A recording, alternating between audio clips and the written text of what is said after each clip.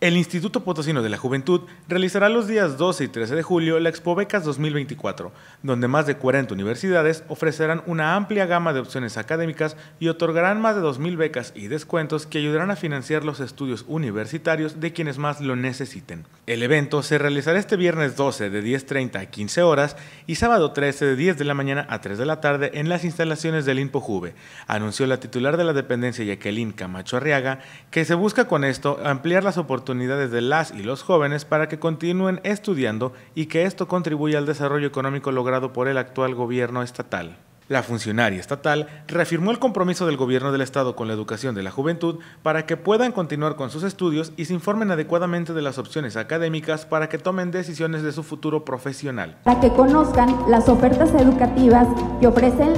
las más de 40 universidades privadas con quienes tenemos convenio. Gracias a nuestro gobernador del estado, estas universidades otorgarán más de 2.000 becas a las y a los jóvenes para que continúen estudiando para que así puedan alcanzar sus metas académicas y profesionales. Alberto Rodríguez, subdirector administrativo del IMPOJUVE, mencionó que el objeto de Expobecas es que todas y todos los jóvenes puedan continuar sus estudios universitarios con el apoyo del gobierno del Estado, asegurando que cada joven tenga la oportunidad de alcanzar sus metas educativas y contribuir positivamente al desarrollo de San Luis Potosí. El IMPOJUVE les abre las puertas gracias al gobernador del Estado, el licenciado Ricardo Gallardo Cardona,